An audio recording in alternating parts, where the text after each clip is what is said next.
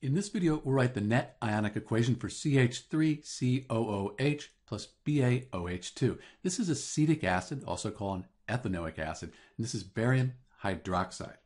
Sometimes you'll see acetic acid written like this here. They're the same thing, they're just arranged differently. Let's use this one in the video. So we have our acetic acid and our barium hydroxide. We're going to write the net ionic equation. One of the first things we do is we need to balance the molecular equation. This is our molecular equation.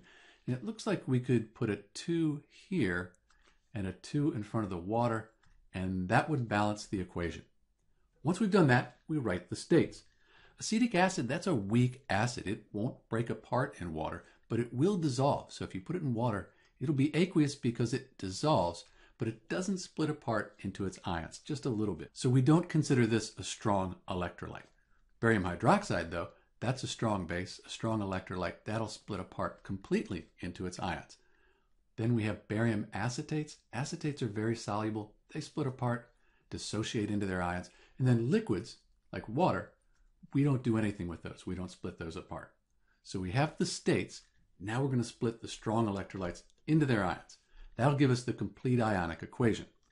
We said that for the acetic acid, we're not going to split that apart. So we can just write CH3 C-O-O-H, and I'll write aqueous at the end. We have two of these acetic acids, so we need to put a 2 as our coefficient here. Plus, we have barium. Barium's in group 2 on the periodic table. It has a 2 plus ionic charge, so we have Ba 2 plus, and then the hydroxide, you should know that hydroxides have a 1 minus ionic charge. This whole OH is OH minus. So we have OH minus and we have this little subscript says we have two of them. Put a 2 is our coefficient here. These are the reactants in the net ionic equation. We said barium was 2 plus, and if you look the acetate ion up on a table of common polyatomic ions, it has a 1 minus charge. Not surprising, we have two of them, so that would be 2 minus, 2 plus, cancel out. So let's split this up. We have the Ba2 plus and the products, and then we have the acetate ion. CH3COO minus, and that 2 again, we have two of those, plus our two waters. We won't split the waters up because they're a liquid. This is what we call the complete ionic equation. Sometimes they call it the total ionic equation.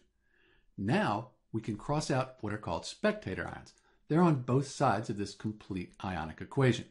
So I can see I have a Ba2 plus here and the reactants, and in the products, I have a Ba2+. plus. I can cross that out. Everything else is different though. The CH3COOH, acetic acid, that's different than the CH3COO minus, the acetate ion.